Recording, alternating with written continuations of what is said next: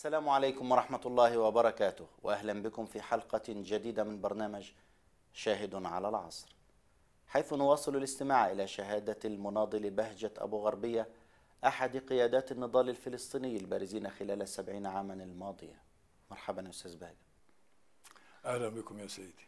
إحنا توقفنا في الحلقة الماضية عند دخول الجيوش العربية إلى فلسطين في الخامس عشر من مايو عام 1948 واستعرضنا قبلها الوضع بشكل عام. كيف كان وضع القدس صبيحة دخول الجيوش العربية إليها؟ آه، الجيوش العربية كان يفترض أنها تدخل في 15 نحن في قيادة الجهاد المقدس في القدس عقدنا اجتماع في 12 شهر. وبحثنا لأنه الإنجليز يعني كانوا موجودين في القدس وسينسحبون في 15 شهر. وحاولنا أن يعني نضع خطط دفاعية لبينما تصلنا الجيوش العربية وننتقل من الدفاع إلى الهجوم. الذي حصل يعني أنه آه، كان في هدنة عقدها عزام باشا آه، مع الصليب الأحمر مع كذا وكانت سارية المفعول لفترة قصيرة. اللي هو أمين عام الجامعة العربية. نعم. مم. كانت سارية المفعول لفترة قصيرة. ومجرد أن آه، انسحب البريطانيين من القدس المندوب السامي انسحب في 14 يوم نعم. جمعة مم. مجرد ما خرج المندوب السامي وخرج الجيش البريطاني قسم منه اتجه لحيفا قسم اتجه لفايد في مصر آه، بدأ اليهود هجوم عام على ال- القدس وكانوا قد استعدوا له وثبت يعني فيما بعد في ال- ما كتب عن هذه الحرب أن ديفيد بن غوريون رئيس الحكومة يعني آه، وحد كل القوات اليهودية تحت قيادة واحدة للبالمخ يوسف سادة آه، إسحاق سادة. هذا كان قائد البالمخ اللي هي أق... آه، يعني أقوى قوات وأقدر قوات عند اليهود. الهجناء نفسها كانت. هي جزء من الهجناء لك- بس هي كقوات ضاربة يعني. شال شاليتيل قائد الهجناء وسلم قائد. وكل الأرجون وشتين وغيرها كلها وحدها في قوة واحدة وقال لهم أريد القدس. وتعليماته لإسحاق سادة attack and attack and attack إسحاق سادة قال له إذا استطعنا في اليوم الأول. أنه نسيطر على ال zone ال zone اللي هي المنطقة اللي كان فيها الإنجليز دوائر البريد والمخابرات. اللي هي المنطقة العازلة كانت. المنطقة العازلة. إذا س- استطعنا نسيطر عليها. أول يوم خلال 48 ساعة أعطيك القدس كاملة. فكان باختصار اليهود مصممين تصميم لآخر الحدود على احتلال القدس جميعها. كان عدد المقاتلين الفلسطينيين أو العرب كم في القدس؟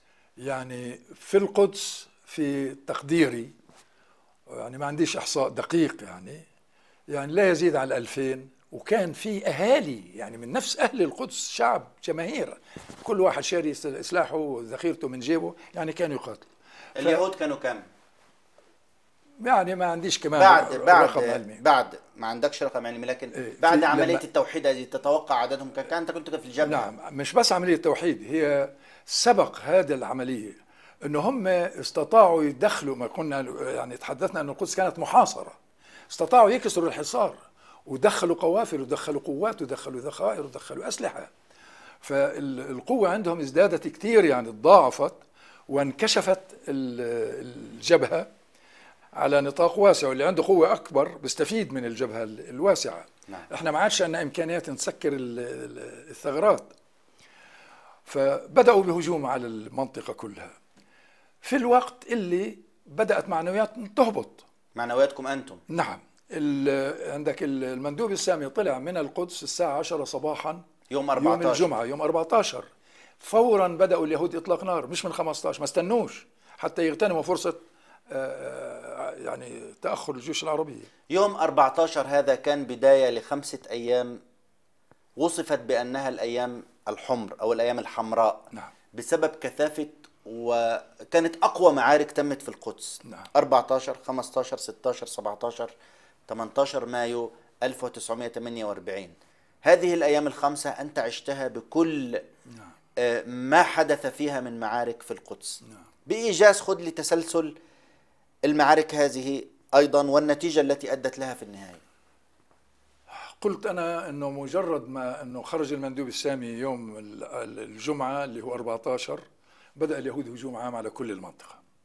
ولكن ركزوا هجومهم على المنطقة الجنوبية من القدس ليصلوا المنطقة الغربية اللي هي معظم الأحياء اليهودية فيها بالمنطقة الجنوبية. المنطقة الجنوبية يعني وصلها كان يتطلب احتلال القطمون واحتلال البقع بعض أحياء عربية يعني. والوصول إلى مستعمرات يهودية كانت قائمة هناك. تل بيوت و... ورمات رحيل و... آه، ثلاث مستعمرات. نعم. وأيضا بهذا إذا وصلوا لها هم كانوا حاسبين حساب الجيش المصري. هذا معروف يعني. بغلقوا الطريق على الجيش المصري إلى القدس لأن هذول جنوب القدس. فبدأوا الهجوم على منطقة القطمون والبقع وكذا واحتلوها في خلال يوم أو يومين حقيقة. مم. وحاولوا في نفس الوقت أن يفكوا الحصار عن يهود القدس القديمة. اللي أنتم حاصرينهم طول الفترة الماضية نعم وهي محاصرة من جميع الجهات. ليتصلوا فيهم لو اتصلوا فيهم بيصيروا قادرين يتغلغلوا في البلدة القديمة يعني بسهولة عسكريا. وحاولوا من منطقتي أيضا أن يصلوا إلى السور من الجهة ال- الشمالية. حاولوا أيضا أن يصلوا إلى السور من جهة هداسة والجامعة العبرية عملوا هجوم. ف ال- الواقع أنهم نجحوا في احتلال المناطق اللي جنوب القدس. ووصلوا خطهم فيها.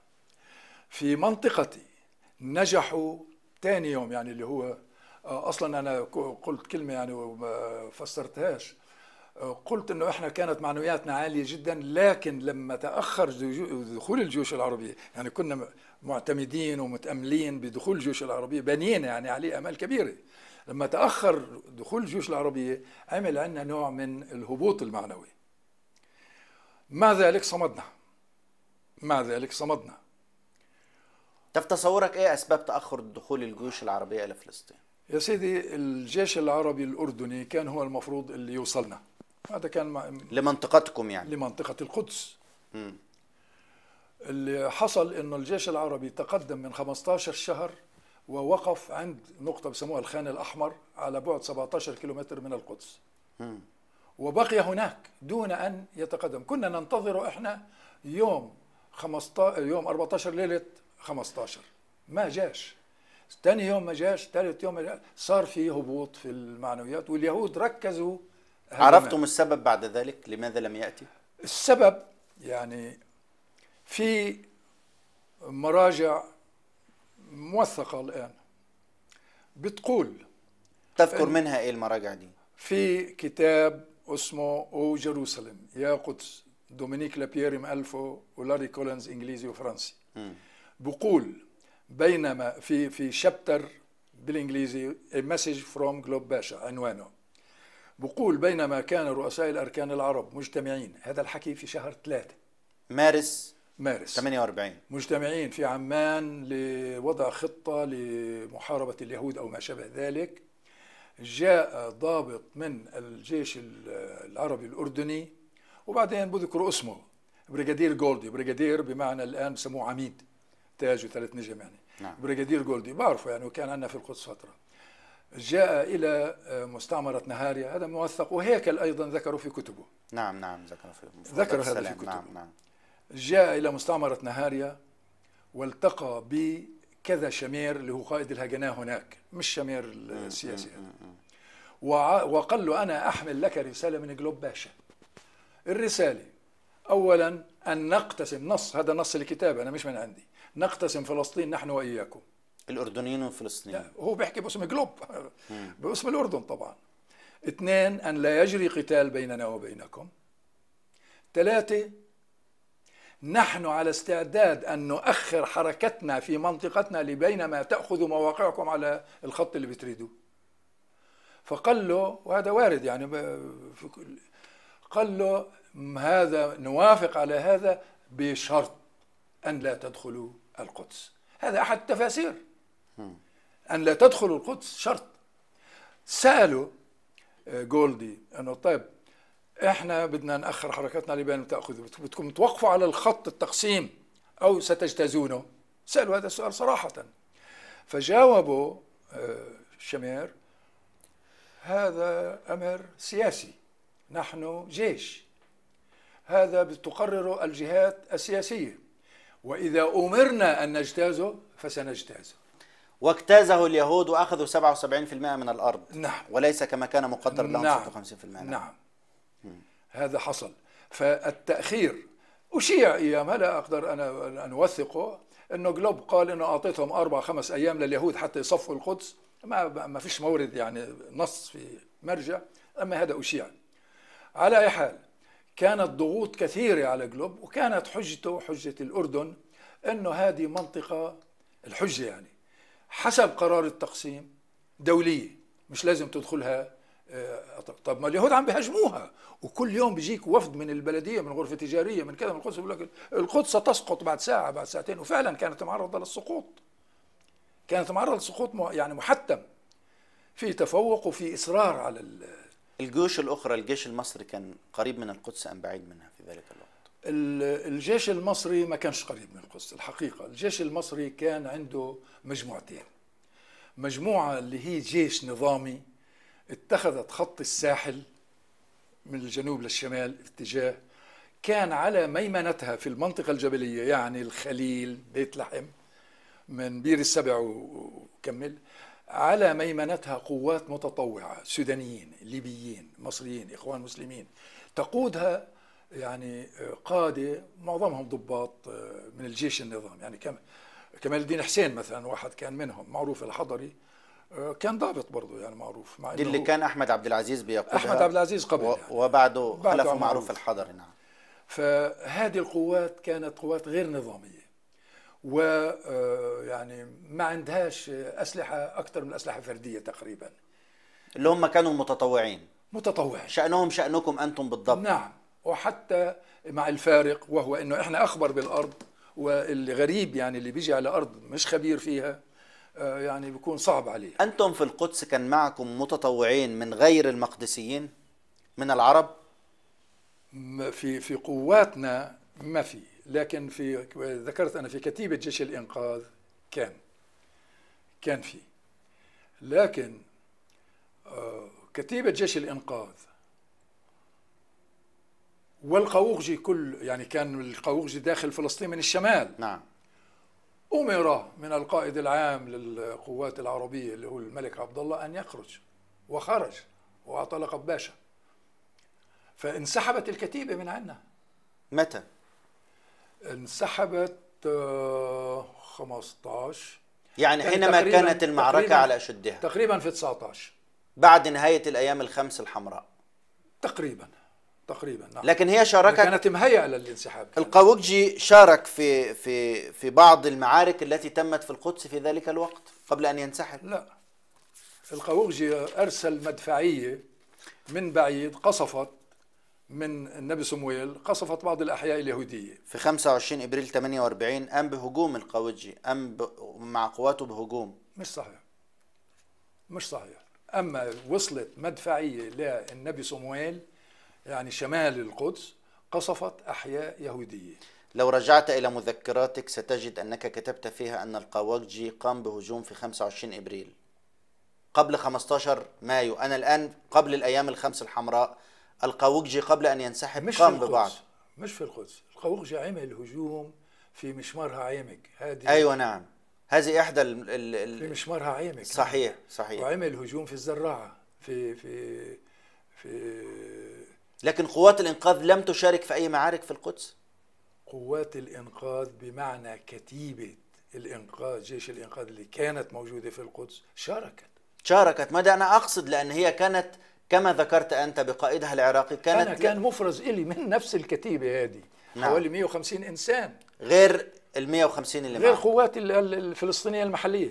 لكن وهذا أنا كمان ذاكره في مذكراتي صباح يعني أو ضحى السبت 15 أنا جاءني أمر من الرئيس فاضل رشيد خطي موقع منه من الشيخ مصطفى السباعي ومن جمال الصوفي اللي هم يعني معاونينه التنين.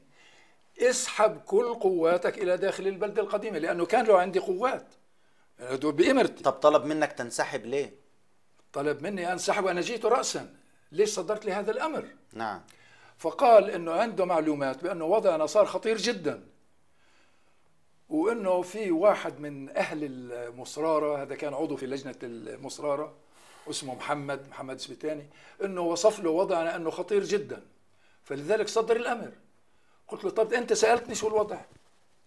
أنا فعلا وضعي خطر لأنه اليهود سيطروا على كل الطرق اللي إحنا ممكن نتحرك فيها. لكن إحنا أولاد الأرض يعني بنقدر نتحرك رغم ذلك.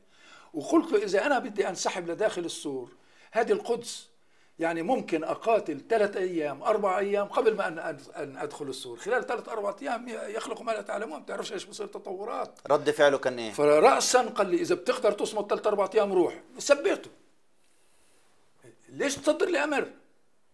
صار صادر أمر وبعض الأمر كان وصل لبعض الوحدات اللي اللي مفرزة إلي. يعني في وحدة كان يقودها ضابط لبناني اسمه حنا الحلو انسحبت رجعته وشفته حنا الحلو في القيادة عند يعني قد استطعت أن تسيطر على الوضع مرة أخرى. بعد الظهر. بعد الظهر رجعت كل القوات اللي انسحبت. وكان أمر الانسحاب بناء على معلومات خاطئة وليس بناء على معلومات واحد مدني ما, ما بيجوز تستند لها لا يجوز.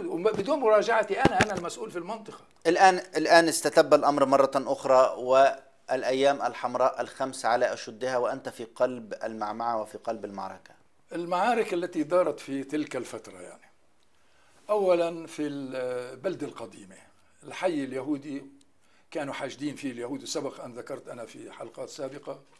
قوات من الهجنة ومن الأرجون وعندهم يعني كميات كبيرة من الذخائر والأسلحة. بدأوا يقاتلوا يعني في الأحياء العربية المجاورة وبالعكس أيضا بالمقابل. صار عليهم هجمات مناضلين فلسطينيين في اتجاه حارة اليهود. خصوصا كان عندنا فرقة تسمى فرقة التدمير يقودها مناضل مشهور رحمة الله عليه اسمه فوزي القطب سميت فرقة التدمير. هذه الفرقة قتال المدن قتال صعب جدا يعني.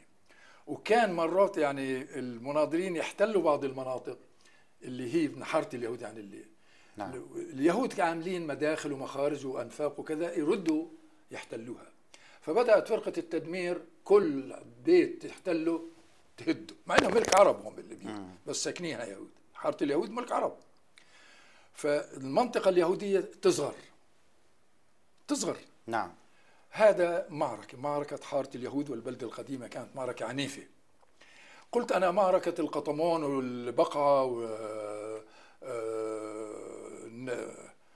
الحاصل المناطق الجنوبية والجنوبية الغربية سقطت للأسف يعني في مش يعني في قتال كبير قوات متفوقة وكانت سابقا يعني ضربوا القطمون وضربوا قوة إبراهيم أبو دية والمقاومة ما كانتش قوية واحتلوها بنوع من السهولة. أيضا في منطقتي أنا في عندنا الجامعة العبرية خلف خطوطنا. وقريب منها منطقة بسموها سنهادريا ومشيرم. إحنا المنطقة العربية عازلة بين الطرفين. عملوا هجوم على الشيخ جراح نفس حي الشيخ جراح وهو حي مشرف. عملوا هجوم واستطاعوا أن يحتلوا جزء من الشيخ جراح يصل بين الجهتين. هذا طوق القدس من الجاهية الشمالية ليمنع أي جيش أن يأتينا من رام الله أو ما شابه ذلك. ووضع خطوطي أنا في نوع من النص دائرة. يعني محاط خطي بقوس من نص دائرة وهذا خطير لأنه أي اختراق من الجانبين بخلينا خارج ال. حتى يوم ما صدر لي فاضل فاضل رشيد أمر الانسحاب سألته كان عندنا معلومات إنه اليهود عندهم كذا مصفحه لكن ما عندهمش بنزين؟ وفعلا ما كانوش يستعملوا ضدي أنا وعند كان عندي أنا خمس شوارع فاتحة علي وكنا نسدها احجار ف صار عندي تصور لما أجاني الأمر إنه فاضل رشيد اجى معلومات إنه صار عندهم بنزين ومعناته ممكن يصير علي هجوم مدرع. هجوم مدرع ما بقدرش أقاومه. يمكن فسألت كانت إيه أسلحتك؟ أنا أسلحتي كان في عندي رشاشات يعني طبعا بنادق واستنات وكذا كان عندي رشاشات. في عندي مقاوم للدروع شيء بسيط جدا من مخلفات الحرب الأولى مش الثانية. العالمية الأولى. Boys بيسموه tank rifle الإنجليزي بيسموها. آه، بندقية طويلة وطلقة واحدة بترمي الحاصل يعني بس ممكن تخترق ال- الدرع بس شيء تعيس يعني.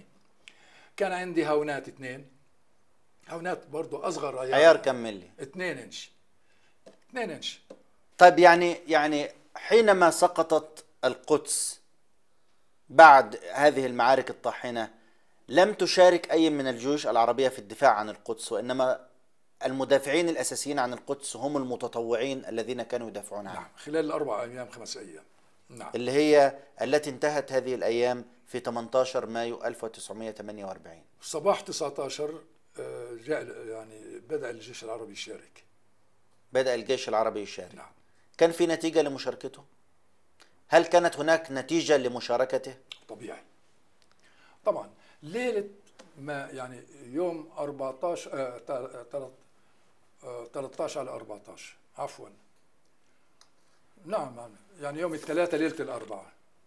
الثلاثة ليلة الأربعاء صار على منطقتي أنا هجوم. اللي هي 18 ليلة 19 18 19 نعم. صار على منطقتي هجوم مركز لآخر درجات التركيز. وطول الليل والاشتباك قائم والضغط علي بالمورتر وبالمحاولات الاختراق خطنا يعني متواصلة حتى الفجر. و آه، الفجر سمعنا صوت مدفع دخل جديد. أنا كنت على رأس تل يعني مشرف على المنطقة. وكان معي رشاش يعني كنت أقاتل بنفسي كمان. وإذا مدرعة جاية من جهة رام الله وهي اللي أطلقت نار في الشيخ جراح. فعرفنا أنه جاءتنا نجدة لأنه كنا كل ساعتين نطلب نجدة جيش الإنقاذ الجيوش العربية كل ساعتين يعني ال ال تكر. الجهاز اللاسلكي تاع الجهاد المقدس يطلب ال- النجدات. وفعلا كان ممكن كل ساعتين تسقط البلد كلها. فلما جاءت ال- المدرعة وكان في المعلومات عندنا أنه جيش الإنقاذ مش الجيش العربي مجرد ما أطلقت النار تغير الوضع إحنا صرنا نزغرت واليهود انسحبوا وقفوا إطلاق النار. مجرد شعورهم بأن جاءت قوة يعني تغير الوضع تماما. وفعلا بدأ يعني الجيش بحذر يتقدم من اتجاه القدس من طريق رام الله يعني في من الشمال. أنا حاولت فورا أن أتصل بالجيش لأنه اليهود انسحبوا وطاردتهم. والشيخ جراح أمام الجيش العربي صار مفتوح لكن هم داخل بحذر. حاولت أتصل فيهم. لما اقتربت سقطت علي قنبلة مورتر من من الجيش العربي لأنه كنت في منحنى يعني مش مبين لسه. فاضطريت أرجع. بمصفحة كنت في مصفحة. رجعت. وأصيبت يعني جناح المصفحة انشال. مش من اليهود. نعم. لأقول لهم أنه أنا مسؤول عن المنطقة المنطقة فاضية تفضلوا تقدموا. وحتى قبل ما أتحرك عملنا برقية على أساس آه، آه، جيش الإنقاذ على موجة جيش الإنقاذ. الشيخ جراح فاضي. إما أن تتقدموا من الشمال أو نتقدم نحن من الجنوب. أجيبوا. على أساس إنه إحنا بنتقدم نتصل فيهم إذا هم هالقد حذرين. فما جاناش الجواب لأنه كان جيش عربي مش جيش إنقاذي اللي بيتقدم. أصبت في معارك 19 مايو 1948 ونقلت إلى المستشفى وفي 11 يونيو 48 أعلنت الهدنة الأولى في فلسطين. وأنت بقيت في المستشفى إلى 17 يونيو ثم ذهبت بعد ذلك إلى بيروت ودمشق من أجل استكمال العلاج حيث كانت إصابتك خطيرة. التقيت مع الحاج أمين الحسيني آه، في أوائل يوليو في دمشق كيف كان لقاؤك به؟ عفوا يعني أريد أن أستكمل شيء ذكرناه في الحلقة الماضية وهو دخول الجيش العربي للاردن. للأمانة التاريخية أقول أنه لو لم يحضر الجيش العربي الأردني في 19 آه، لسقطت القدس. وتعاوننا معه فيما بعد تعاون يعني جدي على حماية القدس من استمرار لأنه اليهود ظلوا مصرين على احتلال القدس يعني بوجود الجيش العربي. ويعني قاوم في القدس أيضا استطاع من جهة باب الوادي يعيد إغلاق الطريق القدس على اليهود. هذا للأمانة التاريخية. لقائك بالحاج أمين بالنسبة الحسيني في دمشق. للحج أمين نعم التقيت معه و في ذلك الوقت يعني كان الأوضاع صعبة يعني جدا. انطباعاته كانت إيه عن سير المعارك وعن مستقبلها؟ الحرب كانت يعني تقريبا مركزة في منطقة القدس. كانت مركزة في منطقة القدس. واليهود مصرين يعني مع وجود الجيش العربي. طبعا لأن هم سيطروا على المدن الأخرى كما أشرنا في حلقة سابقة. عكا ويافا و... اليهود. نعم. نعم. لكن ما في الجبهة كان يعني مثلا الجيش العراقي تمتد جبهته من آه، بيسان وجنين والساحل كان الجيش الع- العراقي لحد رام الله. الجيش الأردني تقريبا انحصرت قواته في منطقة القدس مش في القدس نفسها يعني من باب الواد يعني وشوية من رام الله ومدينة القدس لأنه قواته كانت قليلة الجيش العربي في تصور بيقال ال- الجيوش العربية كانت قليلة ولم تكن مدربة وغيرها. بصفتك أنت كنت أحد القادة الذين اشتركوا في المعارك في القدس طوال هذه المدة. هل القضية هي قضية عدد جنود وغيرها أم كانت قضية عزيمة جندي؟ ولو توفر السلاح والدعم اللازم للمقاتلين العرب بشكل عام كانت الصورة تغيرت في يا فلسطين؟ سيدي أنا بقول لو كان في قرار سياسي بالحرب وبالقتال كان تغيرت الصورة. كان في قرار سياسي بالنسبة للجيش الأردني وللجيش مش الجيش نفسه يعني القيادة الأردنية والقيادة العراقية أن يقفوا على حد التقسيم. اللي فرض عليهم القتال أنه اليهود بدهم يتوسعوا خصوصا في منطقة القدس. فرض فرض القتال عليهم وإلا هم من ناحية الجيش وقيادة الجيش جلوب وغيره. وبما في ذلك آه، نور الدين محمود قائد الجيش العراقي اللي كان عندنا وطاهر الزبيدي قائد الجيش العراقي في نابلس مش جايين يقاتلوا. يعني اذا الجيش العربي الأردني كان داخل عشان اليهود تخطوا حدود التقسيم وليس لاسترجاع القدس. هو يعني ليش دخل للقدس حكينا فيها. دخل تحت ضغط عربي مقدسي آه، شعبي إنه القدس عم بتموت وعمال تسقط. والقدس تعرف لها مكانتها يعني. والجيش واقف على بعد 17 كيلومتر. فدخل لكن كمان مرة بقول لما دخل عدل الكفة وصمدنا نحن وهم وكنا بحاجة إليهم وهم بحاجة إلينا. يعني عبد الله التل كان وغيره وكانوا يعني يشعرون انهم بحاجة النا كمان. حينما لقيت الحاج أمين الحسيني في دمشق في أوائل يوليو 1948 كانت فترة هدنة. ورحت أتعالج في بيروت والتقيت معه طبعا زيارة في دمشق يعني كان. وفي هذه الزيارة يعني درسنا الأوضاع. كان الوضع شبه مستقر يعني. الجيش الأردني في القدس وكان كف يدنا يعني كف يد المناضلين إلى حد بعيد وكان في هدنة واقف يعني القتال. وبالنسبة لليهود يعني كمان كانوا محتلين لكن كانوا لسه مرات كثير يحاولوا يعني يصير. فصار بينه وبينه يعني نوع من الاستعراض للوضع العسكري استعراض للوضع في وكان في عنده رغبة أنه ننشئ قوات مسلحة يعني للجهاد المقدس ونقويها في القدس وكذا. وأنا أكون مسؤول عنها يعني. ف... أنت؟ نعم. أنا اعتذرت على أساس لماذا؟ اعتذرت لأكثر من سبب يعني. السبب الأول إنه الجيش العربي صار فرض حاكم عسكري وكذا. هو حاكم البلد يعني. أنا ما ما بصطدم بالجيش العربي يعني. في المنطقة اليهودية إذا أنا بدي أعمل قوات مسلحة حتى أشيل اليهود أنا والجيش العربي ما نقدرش نشيلهم لأنه صاروا قوة ضخمة جدا بعد الهدنة. جابوا مدفعية وجابوا دبابات وجابوا كذا. يعني الهدنة أعطت اليهود فرصة لترسيخ أقدامهم فيما استولوا عليهم في كتاب قرأته أنا بعد الحرب عنوانه The Story of the Jewish Army عن تاريخ الهجناء. يقول هذا الكتاب اللي ألفه ناطق رسمي باسم, باسم جيش الدفاع الإسرائيلي. يقول في يوم قيام الدولة اليهودية كان مرتب يعني أن تصل باخرة في نفس يوم قيام الدولة اليهودية تحمل لواء مدرع لواء مدرع بكل أسلحته ليس من المصلحة أن نذكر مصدرها. أجا أمريكان معاهم قاتلوا أجا متطوعين باسم متطوعين.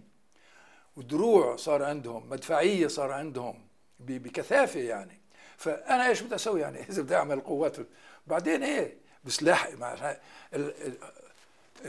أيام عبد القادر الحسيني الله يرحمه اللي هو قريبه للحج أمين ما قدرش يحصل هو وياه على أسلحة كافية. أنا لما بده يكون عندي قوات وما عندهاش سلاح ما عندهاش ذخيرة إيش أسوي؟ ففيش إمكانية يعني. وصفت له إنه ما في إمكانية لإيجاد شغله واعتذرت يعني. رجعت إلى الميدان مرة أخرى في يوليو 48 ووقعت الهدنة الثانية في 18 يوليو 48 كان في هجوم يهودي كبير بعدما رسخ اليهود أقدامهم على الجيش المصري في أكتوبر نعم. 48 استمر إلى نوفمبر 48 تم حصار الفلوجة في 20 أكتوبر 48 إلى 26 فبراير 49 وأنت شاركت مع الجيش المصري في بعض الأحداث. نعم. في تلك الفترة أنا كنت في القدس يعني. نعم. لما بدأ الهجوم على الجيش المصري إحنا كنا في القدس كمناضلين. م- ملنا دور. ما فيش قتال أصلا في هدنة مستقرة يعني في القدس. وقسم كبير من المناضلين اللي في القدس من أهل الخليل اللي معي. و اليهود تحركهم ضد الجيش ال- المصري يعني كان في خطورة أن يقطعوا القدس عن الخليل. طب وإحنا قاعدين مكتوفين الأيدي. فأخذت معي قوة وتحركت لبيت لحم مشيا.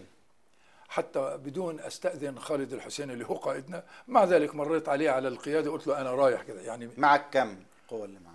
كان معي حوالي خمسين شاب يعني. مسلحين بإيه؟ بأسلحة جيدة يعني. إيه نوعية السلاح؟ رشاشات وبنادق يعني مش أكثر يعني. آه، كان بادي يصير عندنا نوع من ال- الرشاشات الثقيلة متوسطة خلينا نقول مقاومة للدرع شوي يعني. وأخذنا ذخيرة مليحة يعني كمية كافية ورحنا مشيا على بيت لحم. بيت لحم كان فيها حاكم عسكري مصري وفيها قوات مصرية.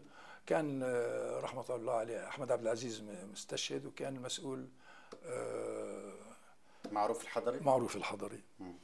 فدخلت أنا في بيت لحم على قيادة الجهاد المقدس. كان في قيادة هناك كان في سرية إبراهيم أبو دية موجودة غاد وقلت لهم إحنا تحت أمركم. فقالوا الليلة سقطت قرية اسمها بيت نتيف وهذه بضل بينها وبين كفر عصيون اللي هي مجمع ال- المستعمرات اليهودية قرية صريف. فبدنا نسكر الطريق يعني نمنع التقدم في اتجاه الشرق ب- بتتحركوا. فتحركنا في اليوم التالي وكان معي كمال الدين حسين ومعي مدفعيه مصرية محمولة على اللوريات. ورحنا لصريف. ووقفنا في مناطق يعني بخبرة أهل المنطقة في م- منطقة يعني استراتيجية جدا تسيطر على الطريق من نعم. جبلين. لكن لسوء الحظ يعني في ذلك اليوم بالذات سقطت بير السبع. وأصبح كل الجيش المصري في الخليل وفي بيت لحم مقطوع عن مصر وعن الجيش المصري. بما فيه الحاكم العسكري وكل كل القوات المصرية. اللي هي حصار الفلوجة صارت بعديها. صار بعدها حصار الفلوجة. نعم. فاليهود كانوا هاجمين على الجيش المصري وانفردوا فيه كل قواتهم. حتى في القدس كان ما يعني لوح- لوحظ بشكل واضح تماما إنه سحبوا قوات كثيره من القدس بالذات ودفعوها في اتجاه ال- الجيش المصري. وتغلبوا عليه الحقيقة للجنوب وبدأت تسقط يعني بسرعة. بيت جبرين بير السبع إلى آخره ووصلوا لسينا ودخلوا فيما بعد. دخلوا سينا. نعم. وصل الجيش اليهودي لمطار العريش. في هذه الأثناء يعني إحنا وقفنا في الموقع اللي اللي وصف اللي كان مطلوب منا.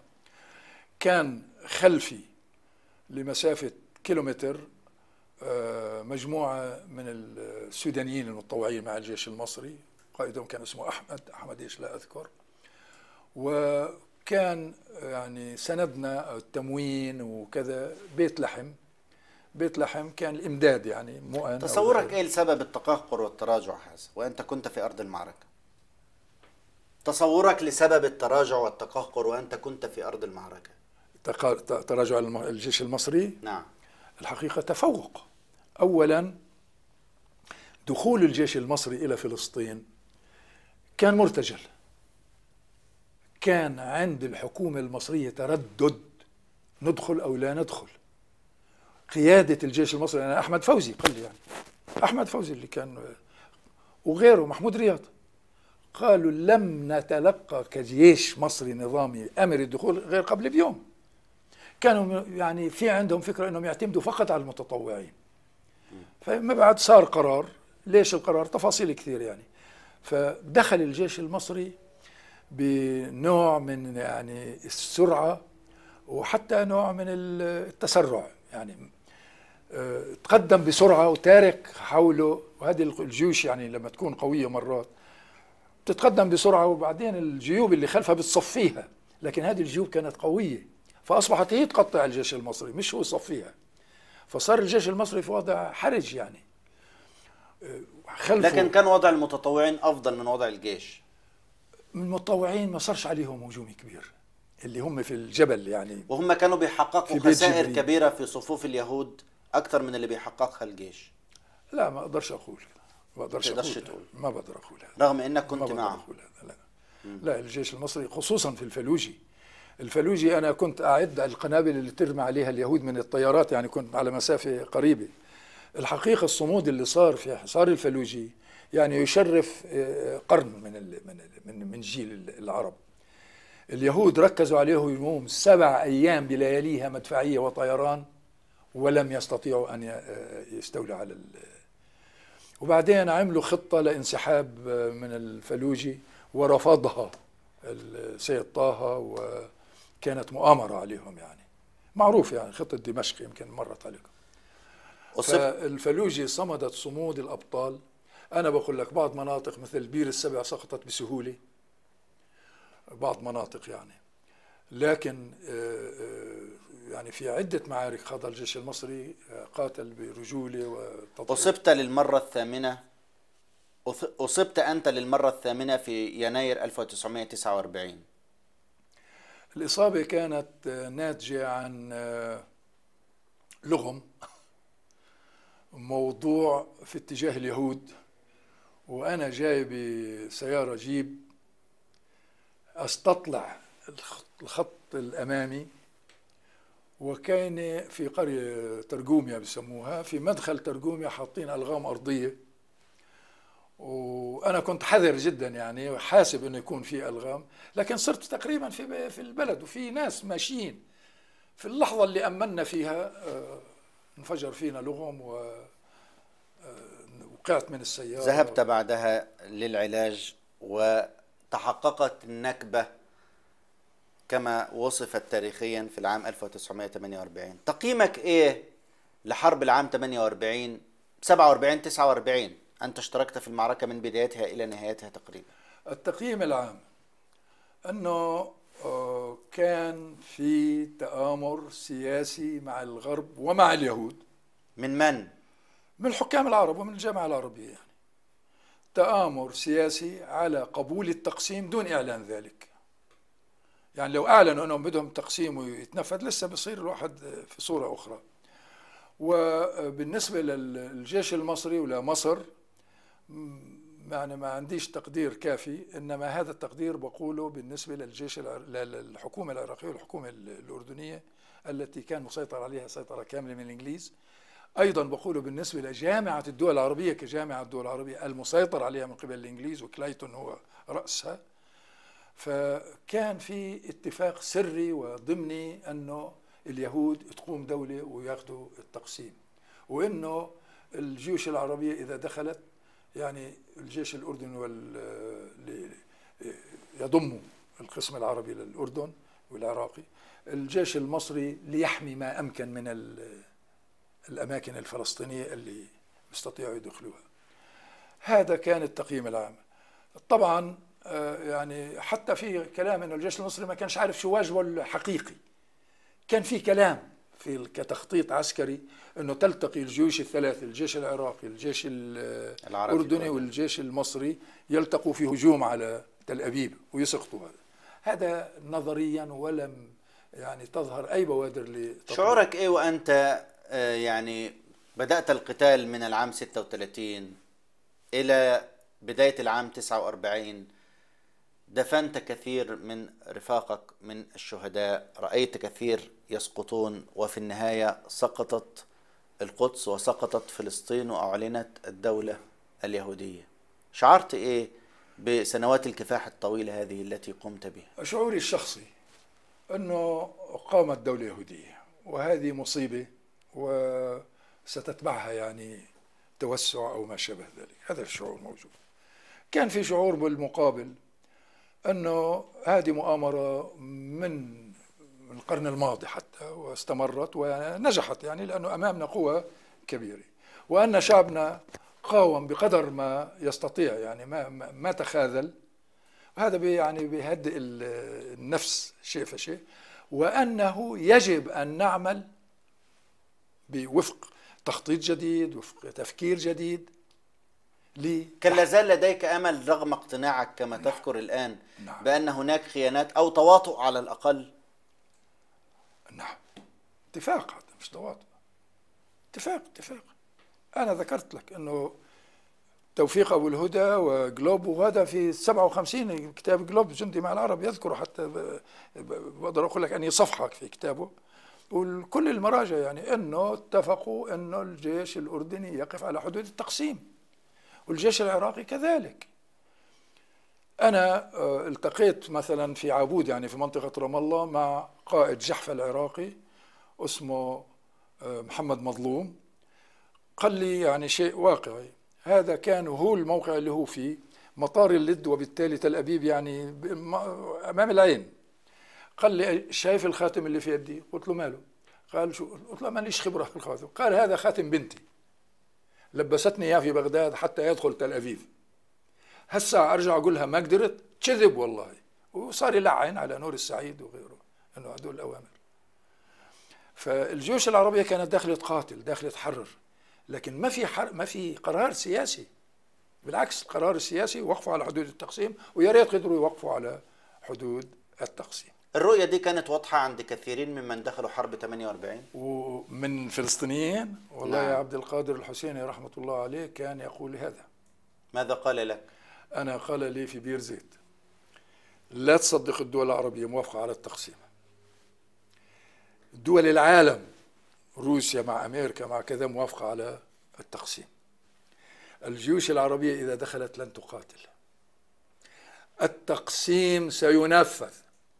لهالدرجة لكن فلينفذ على أجسادنا مبنى هذه بلادنا يجب أن نقاوم بقدر ما نستطيع لننبه هذه الأمة العربية إلى خطورة هذه القوة الصهيونية اللي مستهينين فيها هل تنبهت الأمة؟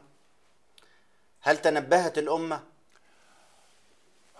نسبيا نسبيا ماذا قررت بعد إعلان الدولة اليهودية وبعد قيام إسرائيل وبعد تحقيق. النكبة وبعد وقف القتال نهائيا نعم. وقف وتصفية الجهاد المقدس. تصفية. ماذا قررت أنت بالنسبة لك؟ أنا شخصيا يعني قررت أني أجلس فترة أفكر ماذا نعمل.